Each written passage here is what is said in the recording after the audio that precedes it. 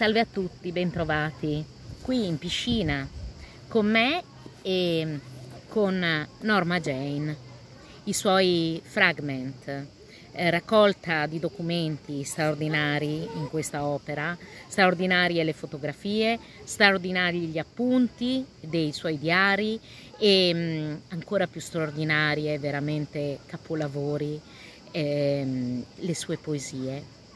E qui eh, per unire l'utile con il dilettevole, la piscina, il sole, ehm, la cultura, mh, mm, la bellezza e mm, cosa sia l'utile e il dilettevole eh, per me in questo momento lascio a voi eh, deciderlo però eh, una cosa che ho deciso io invece e non in questo momento ma durante la preparazione di questo video mentre già leggevo questo libro straordinario è che non avrei mai eh, eh portato qui ehm, assieme a voi Marilyn la spensierata spumeggiante radiosa oca giuliva.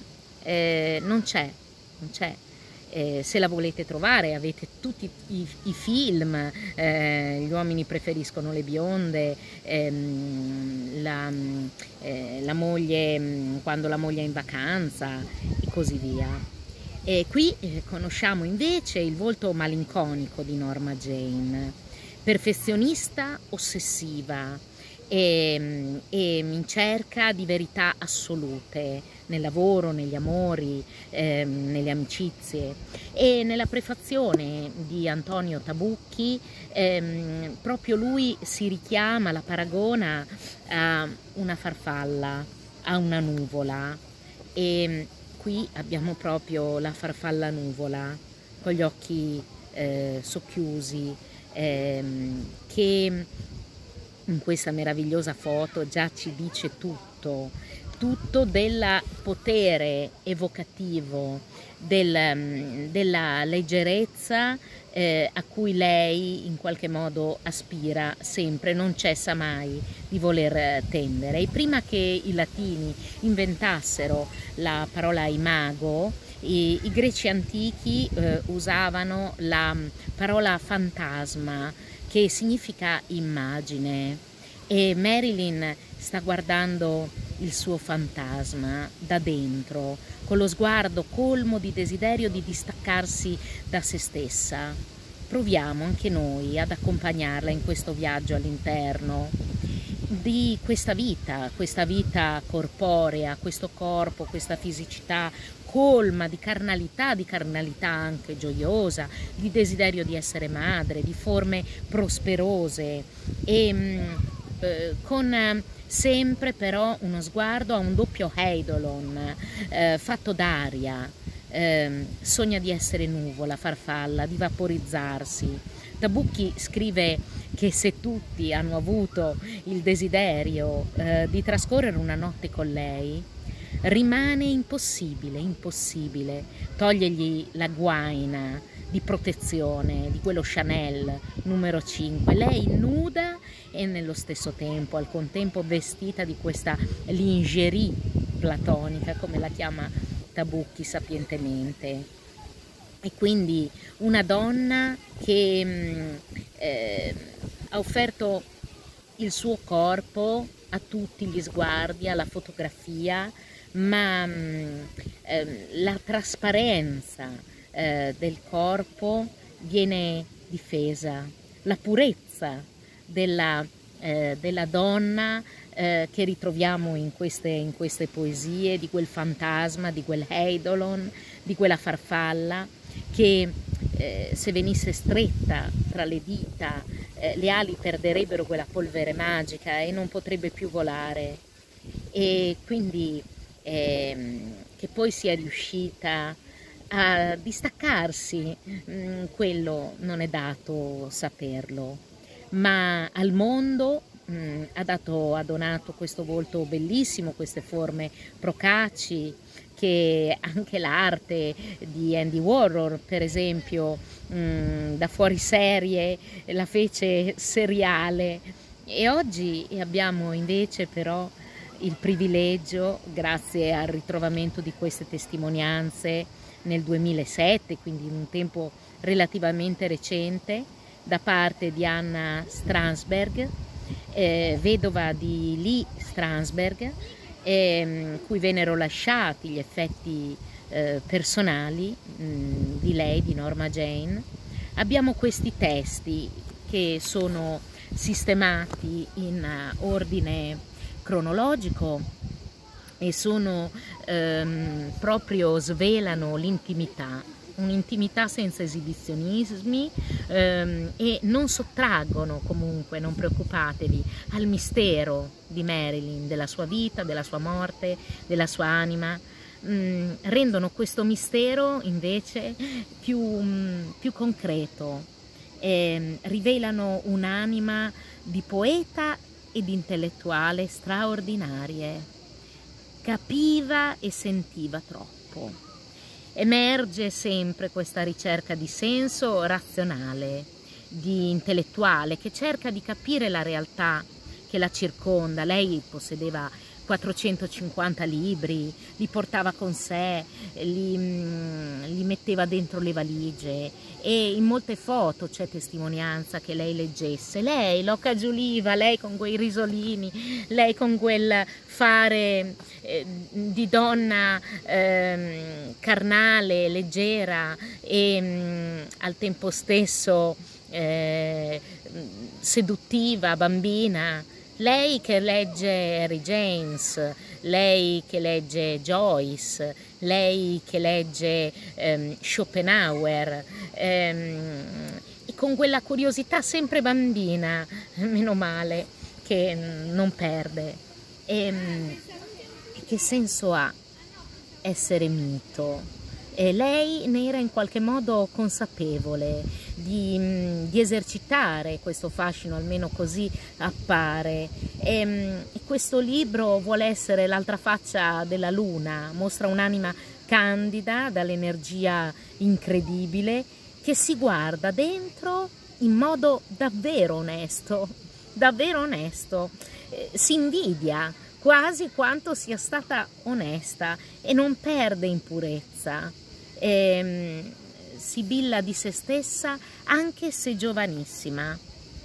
Per una come me, dice, l'autanalisi non è una buona idea.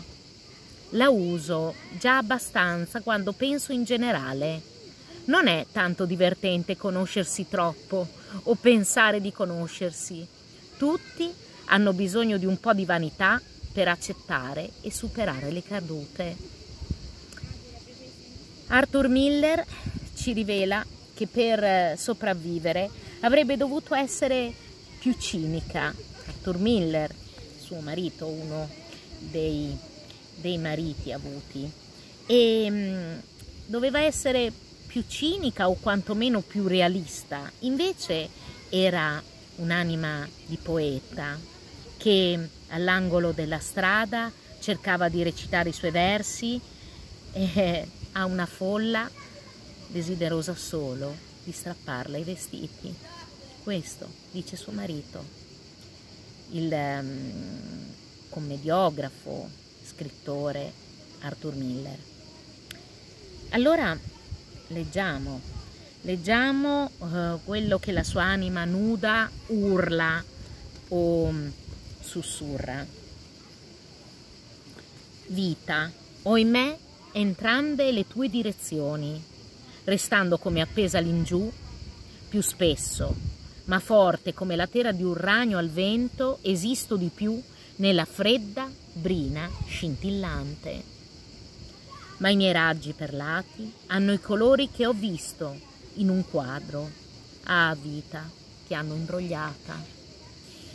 E mm, una cosa curiosa che voglio mostrarvi eh, al di là dei miei cuoricini, ehm, eh, sono le sue ehm, barre, eh, ciò che ehm, lei ritiene dover omettere, le correzioni che qui eh, vengono mantenute. E, e che sono preziose quanto quello che eh, viene mantenuto, anche quello che lei vorrebbe far scomparire. Oddio, vorrei essere morta, assolutamente inesistente, scomparsa da qui, da ogni posto, ma come? Ci sono sempre i ponti, il ponte di Brooklyn, ma amo quel ponte. Da lì tutto è bello e l'aria è così pulita, mentre cammini c'è calma, anche con tutte le macchine che passano impazzite di sotto, quindi ci vorrebbe un altro ponte, uno brutto e senza panorama, solo che mi piacciono tutti i ponti in particolare, hanno un non so che e poi non ho mai visto un ponte brutto. Pietre, sulla passeggiata di tutti i colori che esistono, abbasso lo sguardo su di voi, come su un orizzonte, lo spazio, l'aria, tra noi chiama e io sono molti piani più in su, i miei piedi spaventati, mentre mi muovo ad afferrarvi. Solo parti di noi potranno mai toccare parti di altri. La nostra verità è solo questo in realtà, la nostra verità. Possiamo condividere soltanto la parte che è nei limiti accettabili della consapevolezza di un altro. Quindi siamo per la maggior parte soli. Come stabilito evidentemente in natura, nella migliore delle ipotesi, potrà forse spingere la nostra comprensione a scovare la solitudine altrui. E quindi vedete che lei nel rapportarsi con gli altri, nel rapportarsi con se stessa, sottolinea, mette in luce in modo lucido, in modo consapevole, in modo razionale e sincero questa solitudine, questa punto di incontro che però non può essere mai totale, mai vissuto come avrebbe voluto, perché lei voleva eh, essere amata, voleva stringere legami, comunicare, essere apprezzata davvero come tutti noi, ma forse lei, eh, avendo il peso poi del dolore da controbilanciare a queste che sono illusioni, illusioni, eh, non, non ce l'ha fatta a reggerle. Allungarsi, espansione, scrive, aprire liberi, tieni il palloncino e prova a non preoccuparti. Osa la, lasciarti andare così sciolta, poi riprendi, trova la tua voce. Senso dell'umorismo, mantenere il riso dentro. Rispetta la regola, per cominciare con un raggio, tensione, lascia andare gli occhi. Così rilassata, lascia solo che il pensiero li attraversi, senza fargli niente. Qui si sente eh, una risata interna che lei vorrebbe mantenere, un buon umore una benevolenza verso gli altri e verso se stessa, però è una donna in lotta, tormentata, troppo esigente, esigente con se stessa, non si perdonava nulla, niente le sfuggiva del suo essere, concentrata, studiosa, appunto come dicevo prima, lettrice curiosa e però timorosa di essere scoperta balbuziente, afasica, o mm, come era probabilmente in gioventù, incapace di essere davvero vista, di essere vista oppure per essere poi derisa, la paura di essere derisa, umiliata, fraintesa, che è una paura che mh, mm, probabilmente abbiamo un po' tutti noi,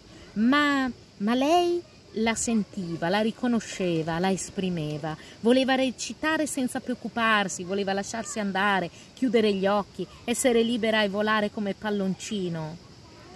In lei la storia di tutti gli uomini e di tutte le donne che vogliono affermarsi, essere riconosciute, ma anche uomini costretti a indossare le loro maschere e, e a dover stare in vetrina, incapaci di rilassarsi.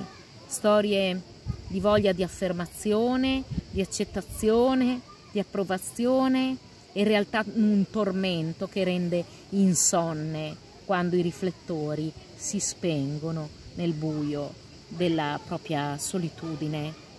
E quindi quanto è difficile, quanto è arduo, impossibile forse mostrarsi nudi al giudizio implacabile altrui, sotto gli sguardi insensibili, duri, desiderosi di fagocitare o di rigettare gli altri per affermare se stessi. E lei, lei, adulta bambina, mi commuove e scrive proprio questo. Tieni il palloncino e prova a non preoccuparti. E questo timor panico che l'assale ogni volta che gira una scena, insicura cronica, con questo terrore di deludere. E i suoi versi davvero urlano, straziano. Sola con uno, due, tre, cinque punti esclamativi. Sono sola, sono sempre sola, comunque sia. L'unica cosa di cui aver paura è la paura. In cosa credo? Cos'è la verità? Credo in me stessa, anche nelle mie sensazioni più delicate e intangibili. In fondo tutto è intangibile. Il mio fluido più prezioso non deve mai essere versato. Non versare il tuo fluido prezioso, forza vitale. Sono tutte sensazioni che mi appartengono Comunque sia, la mia sensazione non si gonfia in parole.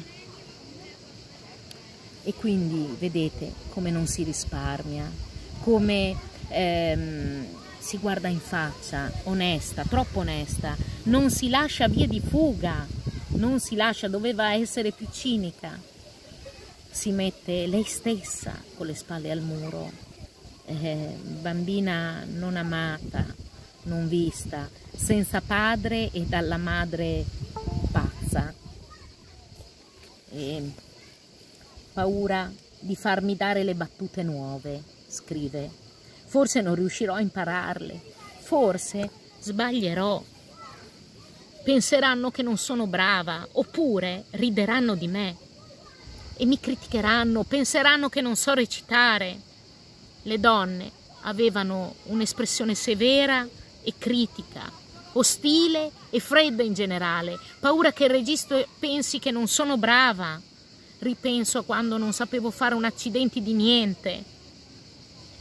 Poi cerco di farmi coraggio dicendomi che ci sono cose che ho fatto giuste, addirittura bene, e ho avuto momenti straordinari, ma le cose negative sono più pesanti da portare e da sentire. Non trovo sicurezza depressa, pazza. Vedete come si mette in luce, come si mette in gioco. E nei suoi due quaderni neri proprio si concretizzano in modo tangibile la psiche, il corpo, l'analisi impietosa e anche il lavoro costante su se stessa, ehm, sulla sua recitazione, i corsi, il mimo, ma proprio anche eh, il, ehm, la ricerca ehm, di senso, ehm, scava voragini però di insicurezza, di insoddisfazione e posso aiutarmi e mi aiuterò e lavorerò sulle cose in modo analitico, non importa quanto sia doloroso, se dimentico, l'inconscio vuole dimenticare, io cercherò solo di ricordare disciplina, concentrazione.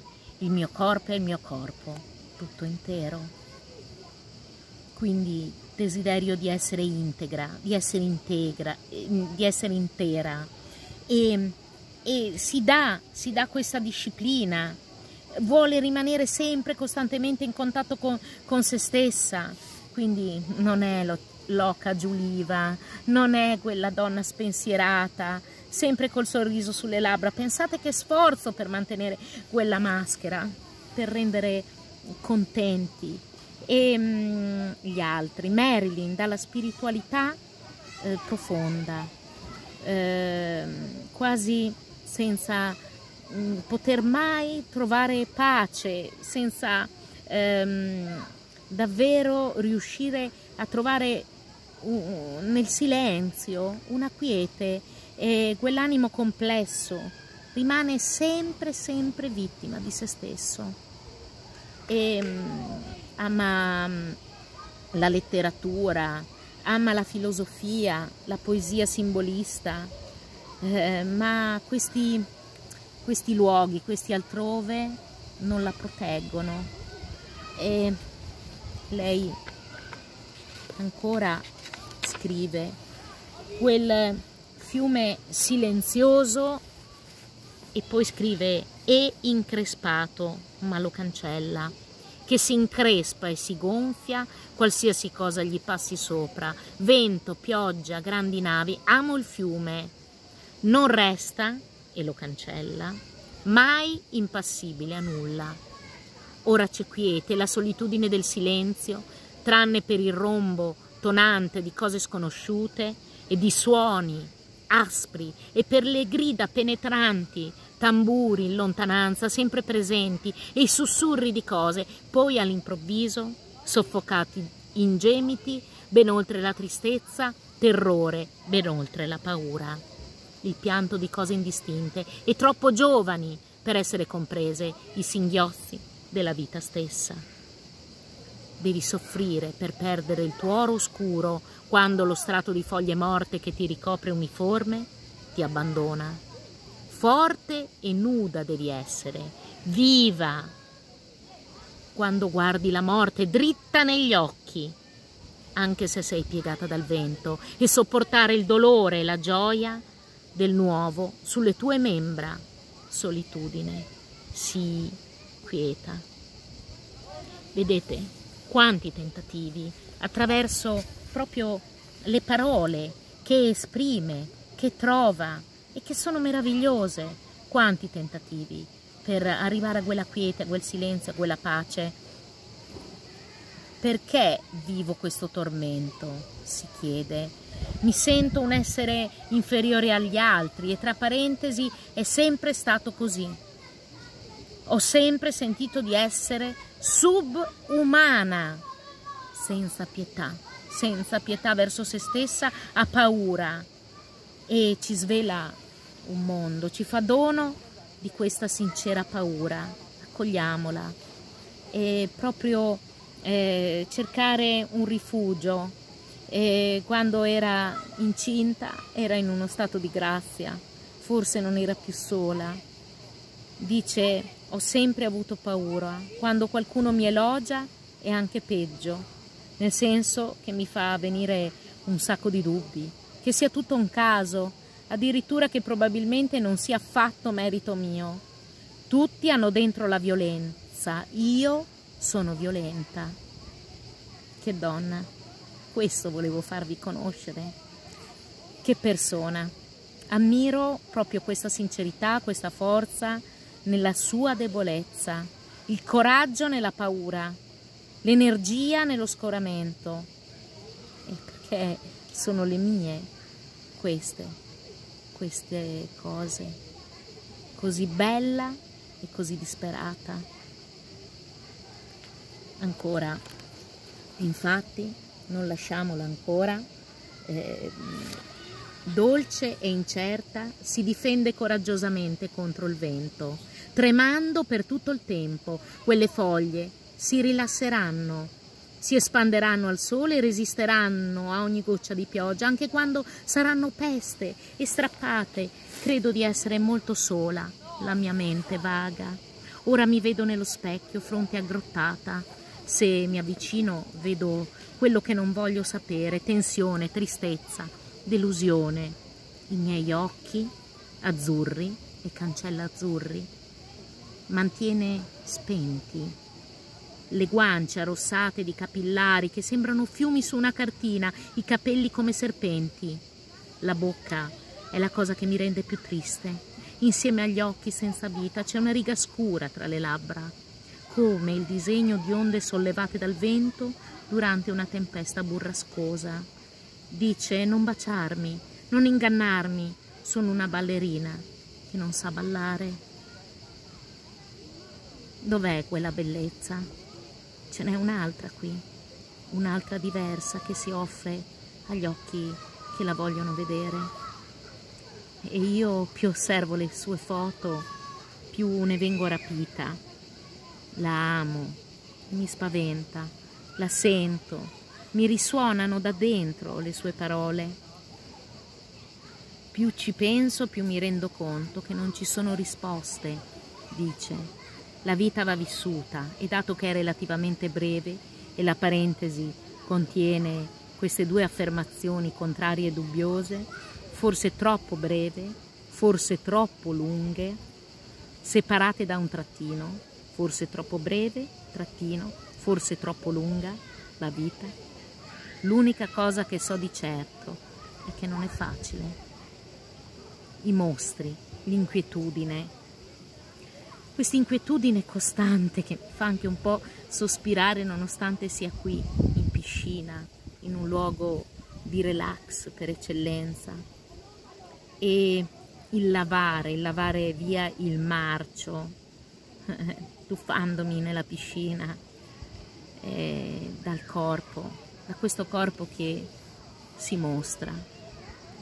E l'anima, l'anima torturata che ci dice da sola che amare con coraggio sia la cosa migliore e accettare tutto quello che si può sopportare, ci dice. Grazie, grazie Marilyn, grazie Norma Jane, grazie donna bionda, sorridente e tormentata in cerca di pace, grazie per quei sorrisi, per quel volto, obbligato a essere gioioso nella tristezza, solare nel buio di se stessi, e in questo donarsi continuamente, priva di alcunché di umano, vivo, senziente. E che cosa esce? Esce segatura, così sottile, scrive, come una bambola di pezza e la segatura si sparge su tutto il pavimento. E quindi vi lascio così con questa immagine molto potente, molto forte, molto dolorosa e, eh, ma per me spero anche per voi che ascoltate spero che leggerete questo straordinario documento. Eh, questa segatura si trasforma eh, in poesia perché come le farfalle, la polvere della farfalla è diventata oro. Namaste, alla prossima.